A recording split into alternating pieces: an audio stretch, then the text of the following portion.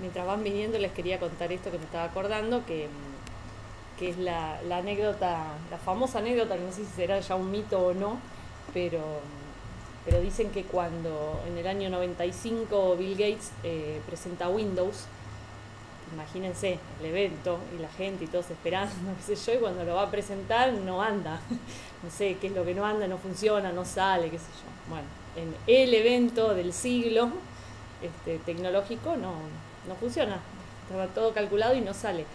Y lo soluciona como lo solucioné yo recién, eh, reinició, reinicié la máquina. Cuando a veces las cosas no van, viste, hay que resetear, resetear. Bueno, a ver si, si más o menos estamos. Bueno, ya vendrán y si no vienen, este, no importa, después lo ven. Pero había bastante gente en, en mis intentos fallidos, así que tampoco tengo tanto tiempo porque tengo que ir a buscar yo y caminando a Juli, que empezó el jardín. Así que nos vamos a ir rápidamente a compartir la pantalla, como estábamos hace un instante. Ahora estoy capturando la pantalla.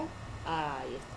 Bueno, tengo el Excel, así que yo ahora eh, no los veo, pero igual voy a entrar acá desde el teléfono para ver si hay comentarios y esas cosas. Voy abriendo el teléfono y les digo, bueno, este es el Excel que hice ayer. Le puse sencillo y subí dos, uno en blanco, como trato de hacer siempre, y uno con un ejemplo. como les contaba, si alguno no, vio mis historias que hice, perdón, eh, hice unas historias de Instagram hoy, pero también hice un un vivo anoche y lo que explicaba es esto, que traté de adaptarme en base a, lo que mi compañero me dijo, que él da clases de guitarra y, alguna cosita más y que era demasiado para él y que no lo iba a usar. Entonces, este, armé este. Ven que tiene tres hojitas, ventas, gastos, cuadro de situación. Lo que quiero decir es que en los otros no es que están mal las cosas, pero, pero bueno, acá estoy omitiendo un montón de cosas. Van a ver que este es hacia abajo. Yo lo puse en el ejemplo que empieza en agosto. Acá lo van a ver mejor. Voy a la hoja 3 para que vean mejor esto. Yo se lo armé para él, como para que empiece ahora. Entonces le puse agosto porque él va a empezar a cargar los datos ahora. Entonces lo primero que tienen que hacer ustedes es eso, armar su año calendario. Si van a, si van a empezar, qué sé yo, a contar desde marzo de este año, acá pongan marzo, abril, mayo, si es desde enero. O sea, el año empieza y termina para cada uno distinto, ¿no? Desde el momento que empieza a contabilizar su, su actividad. Lo que le dije a él es lo mismo que le digo a ustedes. No miren la tercera hoja porque se van a asustar de nuevo, van a decir otra vez, no entiendo nada. Dejen la hoja 3 como está y usen la 1 y la 2, o sea, ventas y gastos. Abren el archivo, van a la primera, se llama ventas. Lo primero que van a hacer es poner los meses, así les queda prolijito. Acá donde yo le puse agosto a él, eh, van a ir para abajo con la flechita por acá, ¿no? Ahí ven, final agosto empieza septiembre.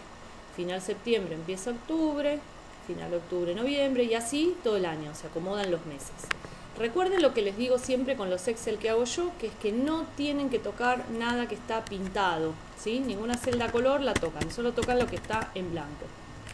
Entonces, en la hojita de ventas lo único que van a hacer es poner la fecha en la columna de fecha, el número de venta, como para ir contando cuántas ventas van, ¿sí? Permiso de tomar mate el dato del cliente que quieran poner. Vieron que simplifique todo. Ahí pueden poner el nombre, el apellido, la provincia, eh, no sé, cualquier cosa que les haga acordar al cliente. Yo quité columnas a lo loco, como para que sea bien, bien simple.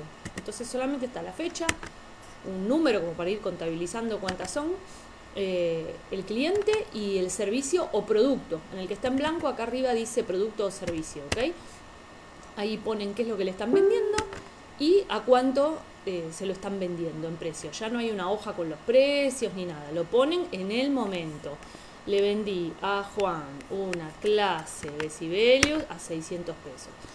Fíjense que lo tengo hecho para él, que no le da dos clases a la misma persona el mismo día. Pero si ustedes están vendiendo productos, o sea, no, no, está muy, para mí yo usaría el que se llama tienda online, pero bueno, volvemos al hecho de que es muy complejo, entonces quieren usar este sencillo. Bueno, ¿saben qué haría? Yo agarraría y pondría así, por ejemplo, ¿no? Vamos a sacar 4 de, o 5 hoy, ¿no? 5 de agosto. Venta 4 de agosto a Juana. Eh, no sé, producto 1 a 100 pesos. Eh, copiaría o, sí, se puede copiar o dejarlo en blanco. Total es lo mismo, esto es solo para ustedes. Pero si quieren directamente no ponen nada, lo dejan acá la misma fecha, el mismo 4, la misma Juana y acá abajo le ponen producto 2, se lo vendí a 200, producto 3, se lo vendí a 300. Listo. Ven que se coloca solo en a cobrar. Esto es lo que les quiero explicar que es re importante. Si ustedes, si se lo está pagando en el momento de contado, le colocan acá lo mismo. O sea, un producto de 100, si ya lo cobré, o sea, acá van a poner cuando lo van cobrando. Listo. Solo se borra de la cobrar. Si todavía no lo pagó, si así se, después me lo paga la semana que viene, qué sé yo, déjenlo así, para acordarse que le deben 200 pesos. O sea, que la persona les debe a usted 200 pesos.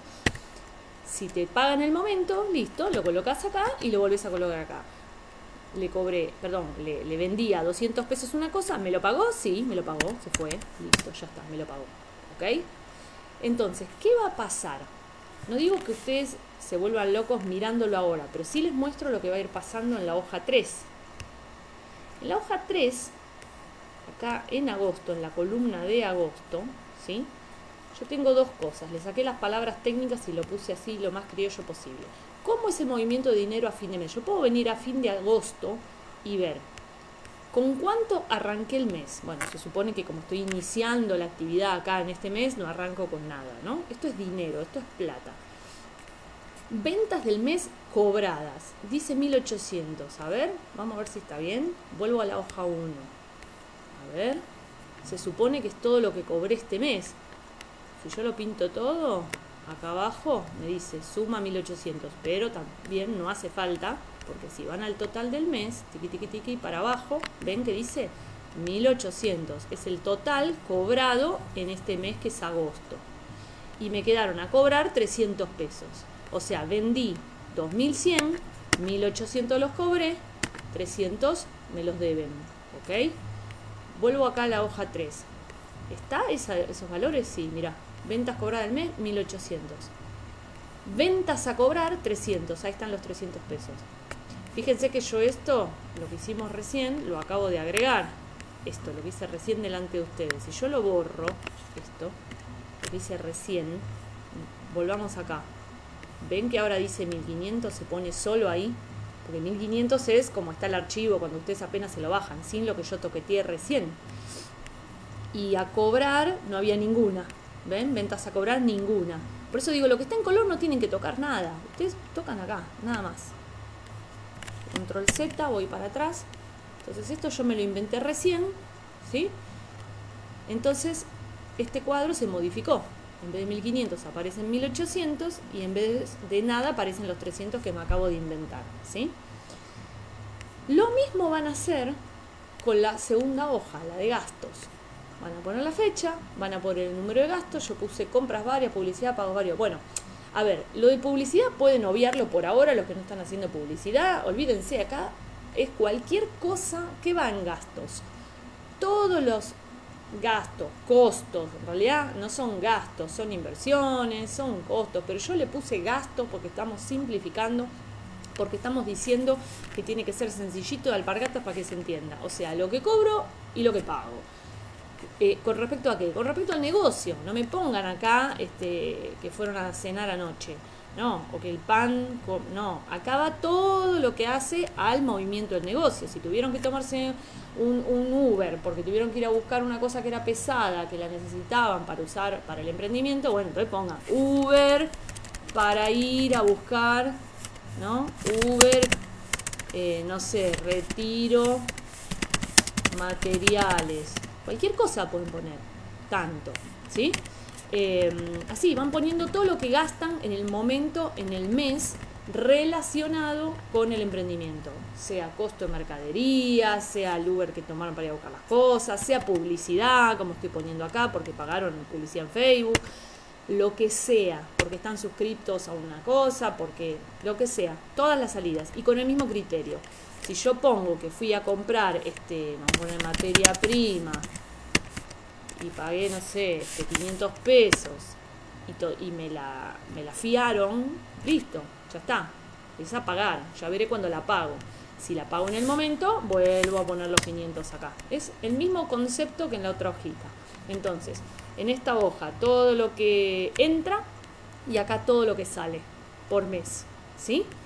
Lo que tienen que ir haciendo es volviendo al lugar cuando venga, este, por ejemplo, esta persona, perdón, acá, yo había puesto así, dije, bueno, listo, te pago la semana que viene, listo, cuando suceda eso, así hayan pasado tres meses o la semana que viene, vuelven a, a este mismo lugar donde contabilizaron esto y dicen, listo, ya lo pagué, no debo nada. Y ponen ahí los 500 para que se vaya de la parte celeste. No lo deben, ya está. ¿Ok? Entonces, esto lo voy a borrar porque lo hice recién, confundir. Y vamos a ver qué pasa acá. Lo mismo. Acá dice, ventas del mes cobradas, ya lo vimos, gastos del mes pagados, 3.500. A ver, vamos a ver el total del mes, a ver si coincide. Sí, aquí están los 3.500. Y supuestamente en agosto no tiene nada a pagar. Entonces, en cuadro de situación, gastos a pagar, en agosto no tiene nada. ¿Ok?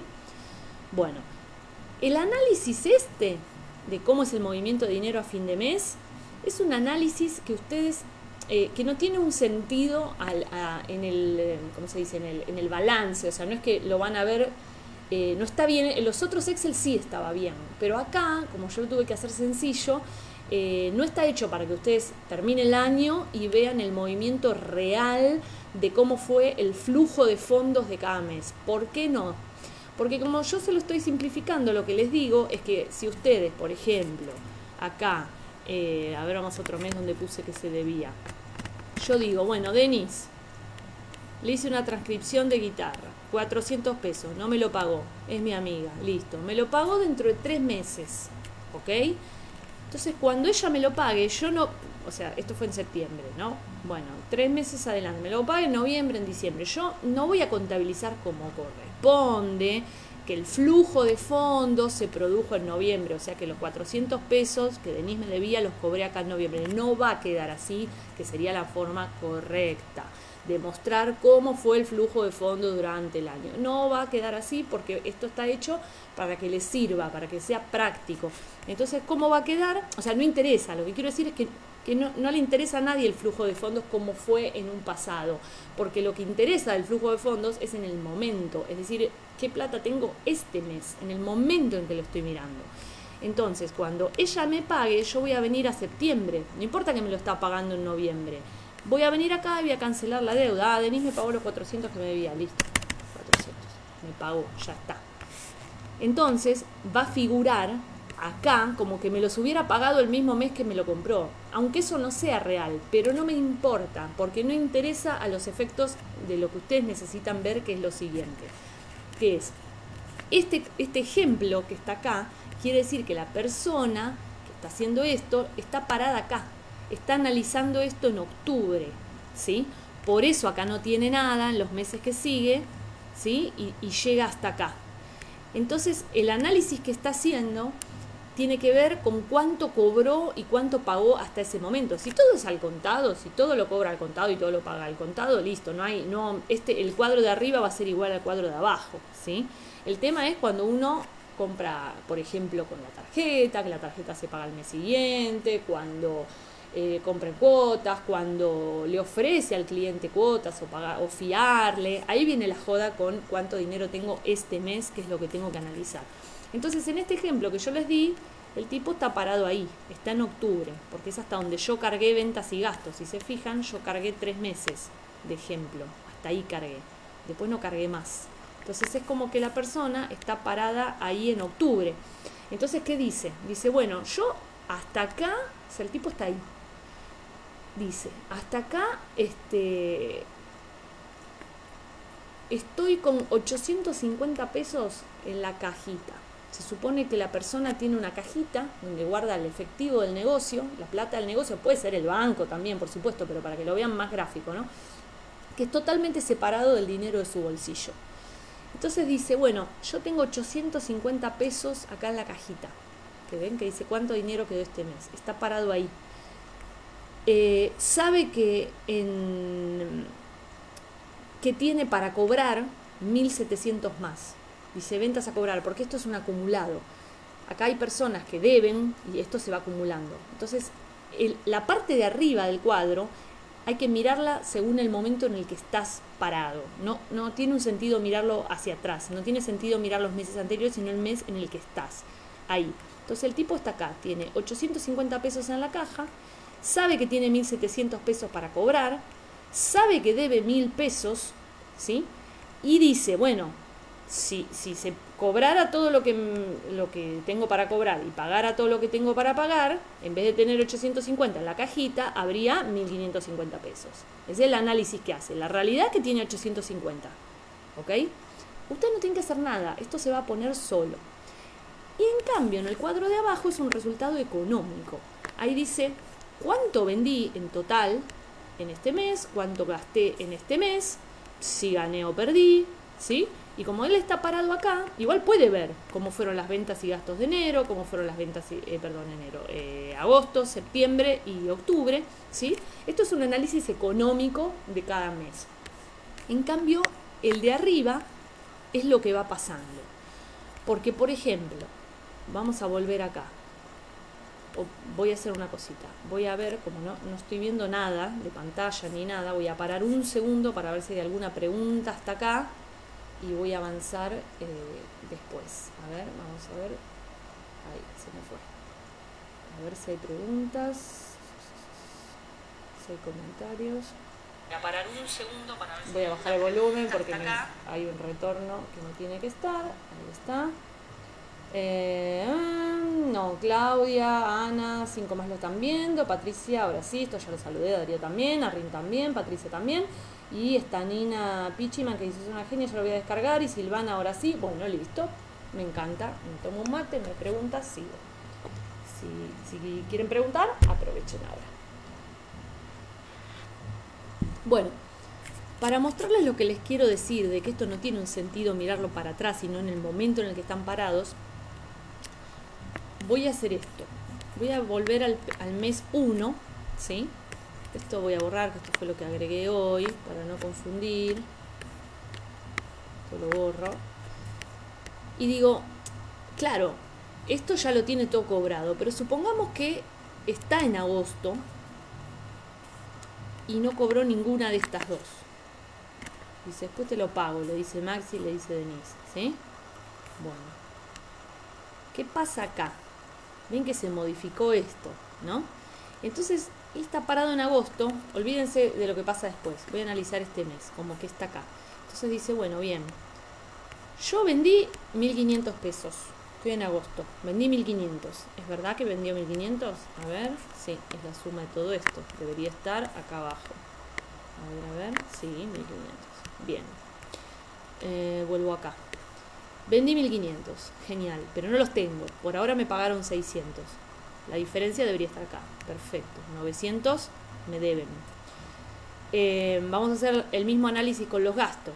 En la hoja 2. Vamos a suponer esto, la publicidad que se paga el otro mes, si lo estás haciendo con la tarjeta, ahí está. Entonces dice, bueno, ¿cuánto dinero salió este mes? 3.500, de los cuales 3.000 los pagué en el momento y 500 los voy a pagar. Bueno, a ver si está acá. A ver, a ver. Gastos totales, 3.500. Bien. Gastos pagados, 3.000. A pagar 500. Bueno, ¿cuál es el análisis acá? Acá dice, ¿cuánto dinero quedó este mes? Y yo escribí algo en rojo. Puse, si es negativo, es el valor total que llevo poniendo de mi bolsillo hasta ahí. Si es positivo, es que me alcanzó para devolverme lo que puse y aún así queda dinero. A ver, vamos a entender esto. Yo vendí 1.500 pesos y gasté 3.500, ¿sí? Estoy para abajo este mes, estoy menos 2.000, bueno, estoy empezando. Ok, bien. Pero vamos a ver, esto es la parte económica, vamos a ver cómo es el flujo de dinero este mes. De los 1.500, recién me cobré 600, los otros 900 los voy a cobrar. De los gastos que hice, los 3.500, pagué 3.000 y logré que me fíen, o porque lo voy a pagar con tarjeta, 500 los pateé para adelante. Ok. Entonces, ¿cuánto dinero, este, en realidad no sería cuánto dinero quedó este mes, ¿cómo está el saldo de este mes? Menos 2.400. ¿Existe el dinero rojo? ¿Existe el dinero negativo? No, no existe. Entonces, quiere decir que de algún lado salió. Es imposible. Si no, ¿cómo pague esos 3.000? Bueno, quiere decir que salió de mi bolsillo. Entonces tengo que tener en claro que si yo lo veo rojo y estoy acá parada, quiere decir que agarré de mi bolsillo 2.400 y los puse en el negocio. Ok. Eh, y que si en este instante, mañana mismo, que estoy adentro de agosto, eh, logro cobrar los 900 que tengo para cobrar y pago, cancelo la deuda que tengo de los 500, en realidad lo que puse de mi bolsillo son 2.000, ¿ok? Pero la realidad efectiva, diría el general, es lo que eh, tengo acá, que es lo que realmente cobré y lo que realmente pagué este mes. Estoy parada acá, el análisis es mes a mes o a fin de mes, ¿sí? Ahora, si estoy parada acá en septiembre y supongamos que la situación siguió igual, no cobré los 900, no pagué los 500. Entonces mi situación real, habiendo vendido al mes siguiente 2.000 pesos y habiendo gastado 1.850, pero no sucedió nada con esto, ni cobré lo que, lo que tenía para cobrar, ni pagué lo que tenía para pagar, la situación es esta. La situación es, yo arranqué 2.400 abajo, cobré 1.500 en septiembre, porque de los 2.000 que vendí, solo cobré 1500, ¿ok? Y 500 quedaron a pagar. ¿Por qué dice 1400 ahí? Porque se me están sumando los 900, porque esto es acumulado, porque no los cobré todavía. A ver, chequemos. A ver, el total de este mes dijimos que a pagar eran 900, perdón, a cobrar 900. Y ya en septiembre, ¿qué sucede? Tengo otros 500 a cobrar. Total a cobrar 1400. ¿sí? O sea, cuando arranca octubre, el acumulado, lo que está acá en naranja es el acumulado, lo que está en violeta son los totales, fíjense, voy para abajo. Total de agosto, todo lo que vendí, todo lo que cobré y lo que tengo para cobrar. Acá el acumulado obviamente es igual porque recién arranco, pero ya cuando voy al mes que sigue, al final de septiembre, este es el total vendido en septiembre, el total cobrado en septiembre y lo que tengo para cobrar de las ventas de septiembre. Pero en el acumulado de lo que tengo para cobrar es 1400. Este es el acumulado de todo lo que cobré los dos meses y este es el acumulado de lo vendido hasta acá los dos meses. Ahora, ¿qué pasa si en septiembre, en lugar de lo que yo estoy planteando, viene la persona de agosto que me debía, pongamos una de las dos, si paga sus 500 pesos. Entonces solo me quedan 400 a cobrar de agosto.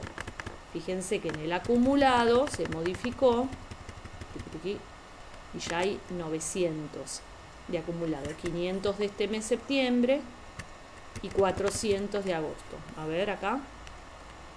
Ahí está, el acumulado a cobrar de septiembre son los 400 que todavía me siguen debiendo de agosto, más los 500, ¿sí? O sea, la diferencia entre el total de ventas de septiembre y el total de ventas cobradas de septiembre.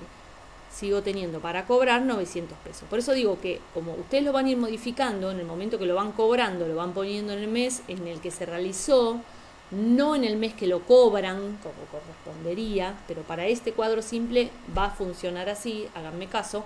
Cuando lo cobran, van al lugar donde estaba la venta, dicen, ¿quién me pagó hoy? Ah, me pagó Leandro, listo, lo pongo acá. ¿Ok? O sea, donde está la venta. Entonces, este cuadro, la parte de arriba, siempre lo tienen que analizar según dónde están parados. En este ejemplo, yo les dije que si está, ¿por qué esto es acumulado también? Porque en realidad como hubo movimiento acá, algo se cobró y algo se, pagó, lo que quiere decir no es que yo puse, no es que yo en total de mi bolsillo puse la suma de esto más esto. ¿eh? No, no, no, esto es acumulado. Siempre se analiza en ese mes. Si yo estoy parada acá, acá abajo me va a decir cuánto es el total que llevo poniendo de mi bolsillo hasta ahí, hasta el momento llevo poniendo 1750. Y si tuviera que en ese instante pagar todo lo que debo y cobrar todo lo que debo, en realidad lo que llevo poniendo en mi bolsillo es 1850. Si estoy parada en octubre, como hubo más ventas, algo se cobró, algo se pagó, lo que sea, este, ya me está dando positivo esto, ¿sí? Tuve menos gastos, más ventas. Entonces, ¿qué quiere decir estos 650 acá? Son 650 pesos reales que tengo en la cajita del negocio ya habiéndome devuelto lo que puse, ¿sí? Eh, en los momentos en los que no había fondos, digamos. O sea, el sentido que tiene es pensar, bueno, listo, ya el negocio está con su propio dinero, ¿sí? Ya no tiene dinero mío del bolsillo, ¿ok? Eh, por eso está dando positivo acá. Incluso si cobrara todo lo que tengo por cobrar y pagara lo que tengo por pagar, este mes, en octubre, donde estoy analizando, habría 950 pesos en la cajita. ¿Sí? Por eso digo, esta parte de arriba es para entender lo que va pasando en el momento en que lo estoy analizando.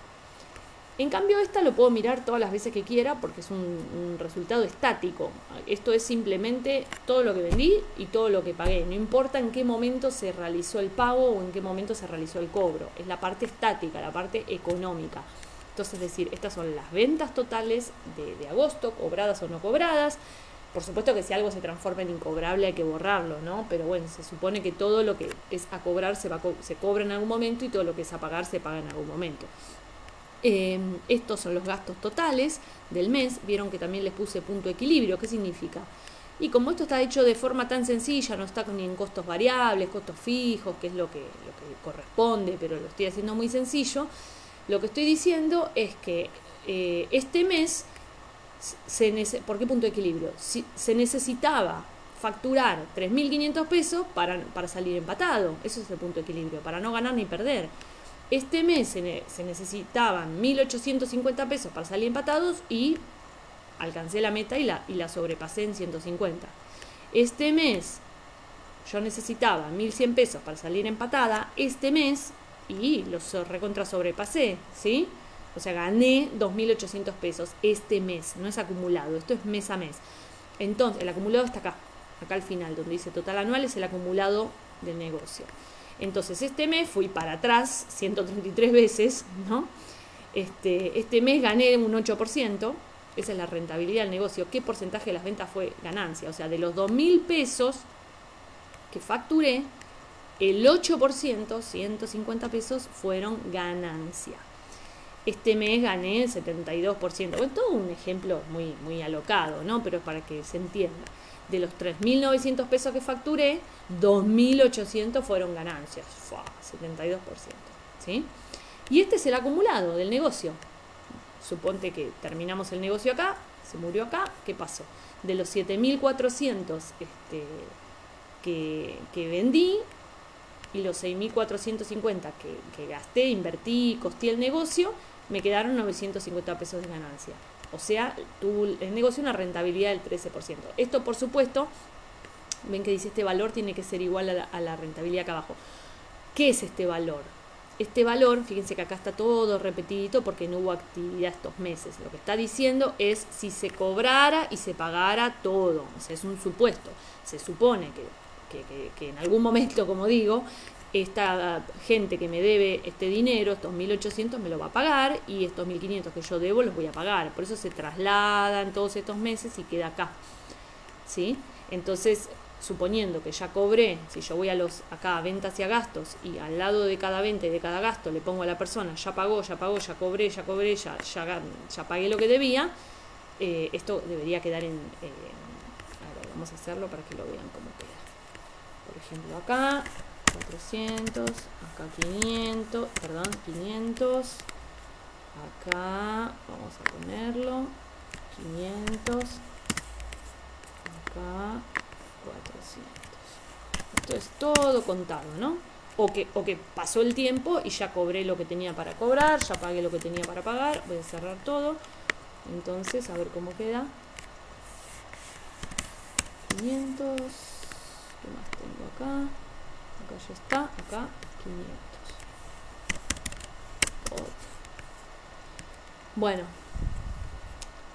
eh, ahí está. ¿Qué es lo que pasa? Este 950, ven que no tengo nada para cobrar ni para pagar, es igual al 950. ¿Sí? Acá está todo igual. Lo que está diciendo es que ya se cobró, se pagó todo y, y la rentabilidad del negocio equivale a los 950 pesos que tengo en la cajita o en el banco. ¿Sí? Eh, eso es porque está todo cobrado y todo pagado. Por eso este número, este, es igual a este. Pero si no, vamos para atrás, control Z, control Z, control Z, control Z, control Z. Fíjense que este número no, este número no era igual a la rentabilidad. ¿Sí? Porque dice, che, pero tengo mil, me quedan 1550 pesos en la caja o en el banco. Sí, pero ojo, ¿eh? Esta es la renta, esta es la, ganancia, perdón. La rentabilidad es porcentaje. La ganancia. La ganancia es 950 pesos. ¿Y pero por qué? Ah, porque mirá, te faltan cobrar 900 pesos, pero también te faltan pagar 1500. O sea que esta es la verdad de la milanesa, 950 pesos. puedes tener 1550 en la cajita, pero guarda que te falta pagar esto y te falta cobrar esto. ¿Ok? Bueno. Eh, después acá abajo yo puse dos, dos indicadores o KPIs que, este, que se suelen tener muy en cuenta cuando te empezás a meter en el mundo de la publicidad. Eh, en este ejemplo lo que yo hice es poner que la persona había, ven, publicidad, 500 pesos, había invertido, yo a todo le pongo gastos, ¿no? Pero ya saben que hay costos, hay inversión, todo, bueno. 500 eh, pesos cada mes, ¿no? Acá puse que como está en octubre, esto ya, como lo paga con tarjeta, esto ya lo pagó. En septiembre ya lo pagó y en octubre los 500 pesos de publicidad, no, los va a pagar al mes siguiente. Ok. ¿Qué tienen que hacer si empiezan a gastar, invertir, perdón, en publicidad? Van a venir acá. Ven que está todo, todas las celdas están pintadas de colores, no tienen que tocar nada ustedes, excepto cuáles, estas, están blanquitas, la que dice inversión en publicidad. Entonces ahí van a volver a poner, porque ustedes ya lo pusieron acá, lo tienen que poner acá como un gasto más pero lo van a poner en dos lugares distintos. Lo van a poner acá y también van a venir acá y van a decir que de todos estos gastos, pues este es el total, ¿sí? de estos 3.500, hay 500 pesos que fueron publicidad. ¿sí? Los van a, no quiero que lo resten de acá, ¿eh? no quiero que pongan 3.000 acá y 500 acá abajo. Dejen los 3.500, que ya está calculado así, pero pónganme acá cuántos de esos gastos fueron publicidad. Lo mismo acá, lo mismo acá. ¿Para qué? Para que me anden estos indicadores. El ROAS y el ROI. ¿Qué es el ROAS? El ROAS es cuántos pesos entraron por cada peso invertido. ¿Qué quiere decir? Tres pesos, dice acá. Dice, de, yo puse 500 pesos, invertí 500 pesos en publicidad, ok. ¿Cuántos vendí? ¿Cuántos pesos entraron? siempre suponiendo eh, el análisis que, ya entró, o que va, o sea, no importa si ya entró o, va a entrar, ¿no? Es, del, total facturado, no importa si lo cobré o no. Eh, ok, si yo puse 500 y facturé 1500, quiere decir que de cada peso invertido en publicidad me entraron 3, ¿ok? Ese es el ROAS. Eh, return of Advertise. Mm, ay, se me fue la sigla en inglés. Bueno, ahora la googleo. Eh, retorno, retorno, es retorno de inversión publicitaria. ¿Y por qué advertising? Bueno, ahora lo voy a googlear. Eh, pero es eso, es retorno de inversión publicitaria. Entonces, es un parámetro, no sé cuán importante o no eh, sea para ustedes, porque si ustedes tienen un negocio con unos altísimos costos variables, porque la mercadería o la materia prima ¿no? es carísima, digo la mercadería si es reventa, pero si la materia prima es altísima, de repente capaz que no es un valor importante saber cuántos pesos facturaron en base a la publicidad, porque si lo más importante es saber cuánto ganaron, no cuánto facturaron, ¿sí? Entonces por eso viene el, este, el ROI, que es qué porcentaje de esta inversión, o sea, de estos 500 pesos, se tradujeron en ganancias. Acá perdí cuatro veces, porque si puse 500 y perdí mi resultado del mes es menos 2000, el ROI es menos 400. En cambio acá, si puse 500 y gané 150, quiere decir que el 30% de la inversión publicitaria se tradujo en ganancia. En el acumulado me da un ROI del 63, una cosa de locos. Pero ahora les voy a decir dónde está la trampa. Em, quiere decir que de los 1.500 que invertí en publicidad, tres meses de 500 pesos, gané 950 pesos. ¿Sí? O sea, se tradujo, o sea, habiendo pagado, descontado todos los gastos, costos, etcétera, además gané 950. O sea, el 63% de esta inversión se tradujo en ganancias. Bueno, ¿dónde está el tema con esto? Es bastante, estos son números muy altos, tener ROAS de 4, de 7 pesos, de 8 pesos, un ROI así, 560, esto es muy alto. ¿Por qué? Porque en realidad eh, lo que está sucediendo es que yo estoy considerando que todas las ventas fueron gracias a la publicidad, que es un negocio online, y lo estoy tomando así.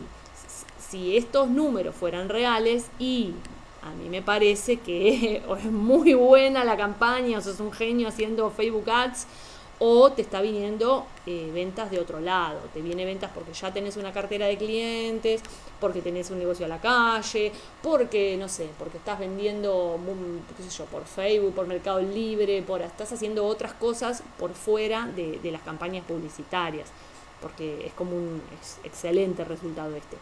Eh, pero como no, no puedo hacer un cuadro discriminando eso porque no lo sé, en principio lo tengo puesto así, lo tengo puesto para que se analice del total de las ventas, o sea, lo hice muy sencillo, del total de las ventas, o sea, de cada peso invertido en publicidad, cuánto se, eh, se tradujo en ventas, y de cada peso invertido en publicidad, qué porcentaje se tradujo en ganancias o pérdidas. Eh, a ver, tampoco es tan difícil. Lo que habría que hacer en todo caso es ver de, cuán, de estas ventas que están acá, eh, hacer otro cuadrito que diga, bueno, pero para estas las, las, las, eh, las, este, eh, las contabilizo como que me vinieron por la publicidad en Facebook y estas me vinieron por otro lado. No es que es difícil ponerlo en el Excel, es difícil saber de dónde te vino una venta, es muy difícil. Entonces, este, yo lo dejaría así y, y nada, y tendría en cuenta el, factor de que, bueno, quizás los números estén muy buenos porque en realidad estoy obteniendo ventas eh, de otro lado y no solo de las campañas publicitarias. Eh, bueno, voy a parar un segundo, voy a ver si hay alguna pregunta y voy a tomar un mate. Eh, a ver, Pacho Rodríguez está viendo, Ana Genia, Nadia está viendo el video, Elisa Basso está viendo y Alejandra Domínguez está viendo. Bueno, bien, pero no tenemos preguntas. Bueno, ¿me tomo el mate? A ver si hay algo más que les quería decir. Nada, recordarles lo que les digo, que no toquen estas, ninguna de estas casillas, ninguna celda que está pintada a color, solo pongan acá, si van invirtiendo publicidad. Acá lo mismo, no toquen las que están en color. Eh, solo van a colocar la fecha. Ah, esto les decía que es un acumulado. Entonces, final agosto, tres gastos acumulado para arrancar septiembre 3 acá le pongo 4, 5, 6 final septiembre 3 acumulado 6 ¿sí? es, todo lo mismo, va sumando ok con las ventas pasa lo mismo. Y hay un total anual pero que es exactamente lo mismo que al final de la hoja total anual 15, pues son todas las ventas que puse, 15 ventas, este sería el total, esto tiene que coincidir con el total anual allá, 7.400 ventas totales, cobradas 6.500, 900 a cobrar, ahí está, 7.400 ventas totales, cobradas, eh, ¿dónde las tengo las cobradas? Bueno, es la diferencia porque como este no es, como les decía, para analizarlo a fin de año, sino que en el momento, la diferencia entre las ventas totales y las que tengo para cobrar es esto. Son los 6.500, son las ventas cobradas hasta el momento. ¿sí? Eh, ¿Qué más? Imprimir, si quisieran, archivo, imprimir. Eh, yo lo tengo con los saltos de hoja así, para un mes. Ah, ahora les voy a decir cómo agregar filas. Esto lo tengo así, imprimir hojas activas o puedo poner imprimir todo el libro si quiero. Entonces acá tengo todas las ventas, octubre, noviembre, diciembre, enero, febrero, marzo, abril, mayo, junio, julio, terminó el año. Bueno, esta me quedó, este total, ay se me fue, perdón. Bueno, después venían todas las hojas de los gastos. Eh, total anual y la última es esta. Bueno, agregar filas, agregar ventas o agregar gastos. Eso es muy importante para que no se les borren las fórmulas. Ustedes van a venir escribiendo, se supone, muy exitosamente, vendiendo, vendiendo. Llegaron acá, al final, y no tienen más, y se necesita una fila más. ¿Qué van a hacer? Avivarse en no esperar a ocupar todo, esperar cuando ya están acá cuando ya ven que les queda poco y van a necesitar más, se paran sobre la fila, pero lo que no quiero es que se paren en... Eh, a ver, si hago así... Claro, lo que no quiero es que hagan esto y que agreguen acá porque ahí se les va a quedar mal la fórmula. Hasta la última lo pueden hacer, pero tomen la última así, en blanco, se paran en esa, botón derecho del mouse, con copiar o control C, y así como están parados en la misma, para que la mande arriba, botón derecho, insertar celdas copiadas. Enter. ¿Por qué? Porque esta fórmula que calcula totales yo necesito que me llegue siempre hasta la última. Si no, me va a dejar la última, lo que agregue sin contar. Entonces, para corroborar que hicieron bien y no hicieron lío, fíjense que acá diga que está sumando de E3 a E35 hasta la última. Si yo hago esto, miren lo que pasa. Si yo hago así, digo, bueno, más le inserto una fila acá. Insertar. Miren lo que pasa. Ahora tengo hasta la fila 36, ¿verdad? Bueno. Suma hasta la 35, no me la tiene en cuenta. Entonces van a hacer lío. Entonces hagan como les dije, para agregar las filas. Copian. Bueno, esta la voy a eliminar. Separan en la última. Copiar, botón derecho, copiar. Y ahí parado sobre la misma, la que están, botón derecho del mouse, insertar celdas copiadas. Enter. Ahí sí. Ahí me tomó hasta la 36. ¿Ok? Esa es la forma de insertar filas y no perder la, fórmula. Bueno, em, si no hay más preguntas, voy a volver a la pantalla. Ahí está. Bueno, eh, no sé si quieren, los que están viendo, si hay alguien viendo quiere decir algo, preguntar algo. Si no, lo voy a cerrar acá, después puedo hacer otros, otro día. Voy a hacer uno en YouTube en algún momento eh, pero pronto. Pasa que tengo esta semana el cumple de Juli, estoy preparando un montón de cosas. Así que mm, nada, pero quería hacer uno como más tipo tutorial, eh, más sintético, explicando lo que hice recién. Pero bueno, la idea es que lo prueben, que lo usen, a ver si, si les gusta, si, si está mejor que los otros, más sencillo. No es que los otros están mal, están buenos, pero, pero bueno, se puede empezar por acá y después cuando uno tiene otra necesidad, seguir por los otros que son más complejos. Em, María Isabel es la que se sumó recién. Bueno, si no hay preguntas entonces, les voy a saludar. Y nos estamos viendo prontito. A ver. Bueno, nos vemos.